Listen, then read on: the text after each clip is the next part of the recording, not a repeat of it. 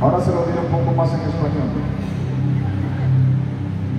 La realidad es, la realidad dije, ¿verdad? No dije verdad, dije, la realidad es que mientras seas joven, siempre serás subestimado y siempre serás el primer sospechoso a cometer un error.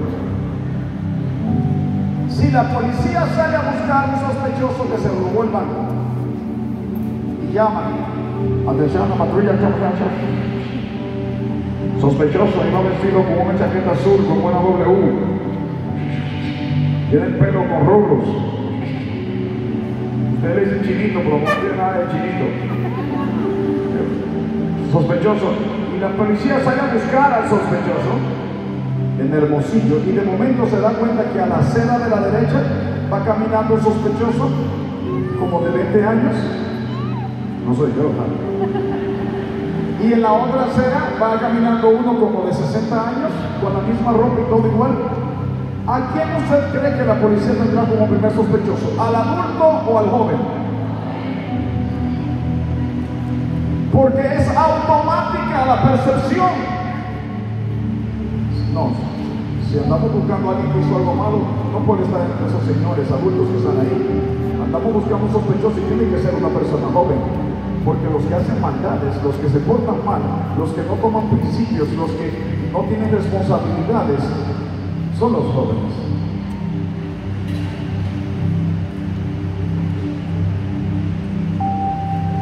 Yo no sé usted, pero a mí me molesta eso. A mí me incomoda eso. Pero me encanta que se lleven una sorpresa de que no es así.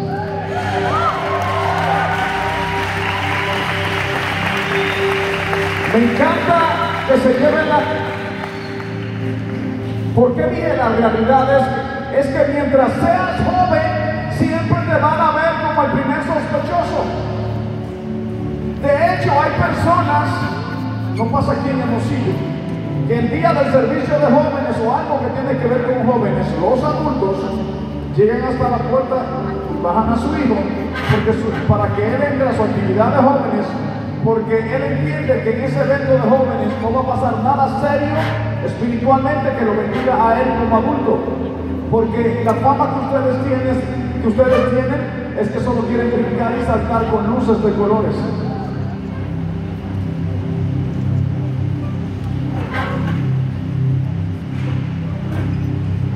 ¿Quién va a cambiar eso? Por lo menos hay tres que saben. ¿Quién va a cambiar ese concepto?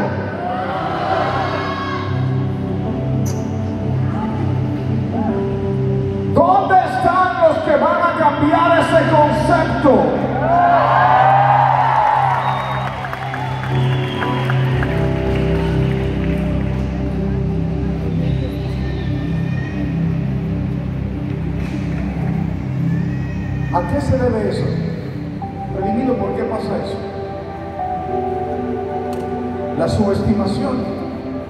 Los americanos le llaman underestimating o bajo estima.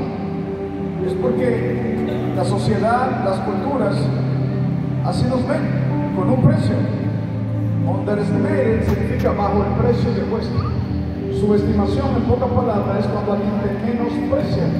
No te da el precio que tú representes.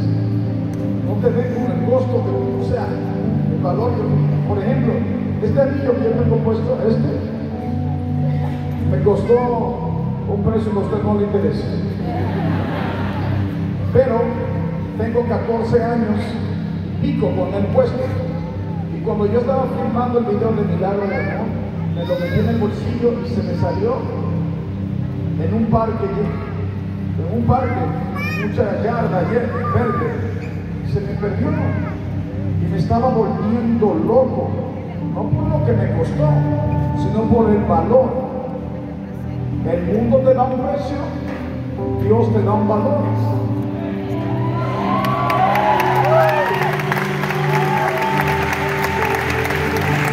El mundo aprecia o menosprecia, pero Dios te da un valor incalculable. Ahora, ¿quieren que sepan cuánto cuesta ese niño que puedo comprar otro? ¿Cuánto? ¿Quieren saber cuánto cuesta ahora mismo? Sean, sean un poco curiosos, por lo menos.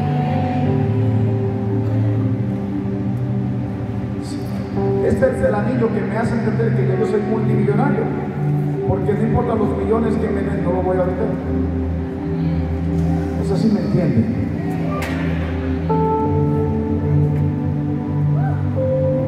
El valor. Una cosa es que en el mundo te subestimen y que también en la iglesia te subestimen por ser joven. Porque pasa en los dos lados. La muestra de que el mundo te... Ya voy a leerle la Biblia. La muestra de que el mundo, el mundo mundial, y no del fútbol, te subestima, está en las cosas que te ofrecen. La música que hacen para ti, basura, porque piensan que a ti te gusta la. ¿Y cómo tú le muestras a ellos que te gusta la basura? Cuando tú vas y ves sus videos, cuando tú le das like a ese chiste de doble sentido. Y las marcas buscan a estos tipos influencers, comediantes de doble sentido, cantantes de música trap secular. Y ahora todos los cantantes quieren cantar lo mismo y hacer lo mismo porque son los videos que tienen más views. Más views que cualquier artista que haya estudiado en la universidad o lo que sea. Un cantante de trap viene y te narra una historia pornográfica cantada. Y hasta los que suponen que no vean eso, lo vemos. Y ellos dicen, oh, a ellos les gusta, seguirán, sigan, sigamos haciéndolo. Solamente te estoy dando una muestra para avanzar. Tiempo. Para avanzar. Una de las tantas maneras de cómo el mundo te subestima o te menosprecia es con todo lo que te ofrece, de la manera que te hablan, que se expresan y que creen los jóvenes, de la manera que llegas a la universidad o al colegio. Y los grupos más populares siempre son los que están más en contra de los principios. Hoy en día llegar a la universidad es como llegar a una casa de terror, si eres cristiano. Porque lo primero que te quieren hacer es, ah, yo tengo amigos que han ido a la universidad y el primer día de clase el maestro pregunta, ¿quién tienes tiene Dios? Y hay un grupito que ya lo conoce. Y de momento viene una cristianoide y levanta su mano. Y lo primero que le dice el maestro de la universidad de una de, las materias es, pues conmigo te va a ir muy mal. Hoy en día ser cristiano allá afuera se lo toman personal y te polariza. Y sé de fuentes oficiales de muchos movimientos que andan buscando aprobación de muchas cosas que en sus reuniones dicen nuestro principal enemigo son los cristianos.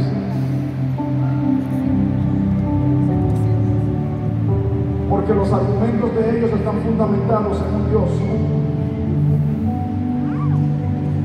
los planes que tienen es quitarle valor a la Biblia primero para que no tengamos de dónde defendernos.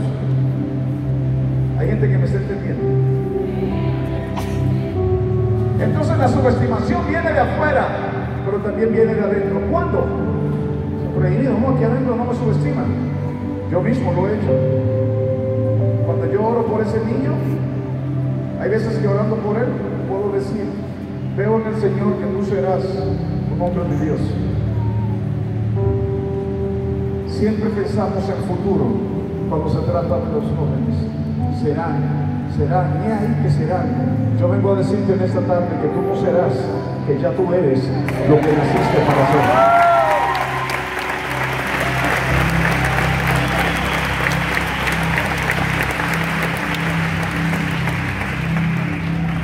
Cuando los reyes magos vinieron a ver al niño Jesús, ¿qué vieron? ¿Vinimos a ver un bebé? ¿Vinimos a ver un rey? porque él nació siendo rey. Y siendo un bebé ya sabía su destino, porque con 12 años estaba en los negocios de su padre. Lo andaban buscando niños, se perdió el niño Jesús. No, yo no le perdí. Estoy aquí en el templo porque me conviene estar en los negocios de mi padre. Cuando tú tienes la percepción, cuando tienes la percepción de que aunque eres joven, tienes toda la capacidad para hacer lo correcto, hablar lo correcto, creer lo correcto, no conforme al mundo, sino conforme al que terminó, te darás cuenta que tú no serás,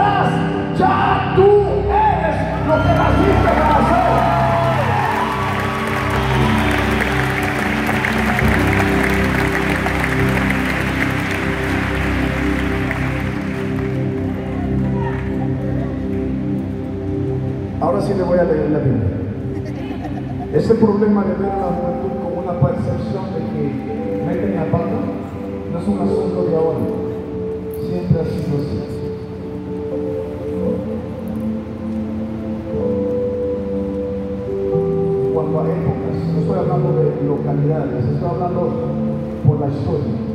La misma Biblia dice, en Isaías capítulo 40, verso 30. Voy a leer el 30 y el 31.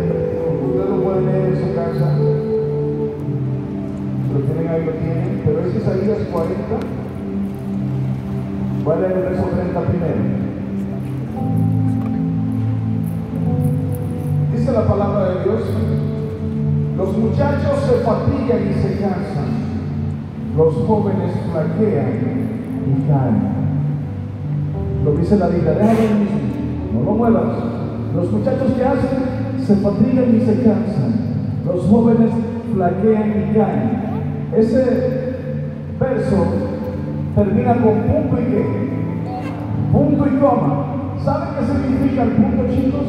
Significa que es realidad. Los jóvenes les pasa eso. Flaquean. La coma significa que Dios no ha terminado de hablar.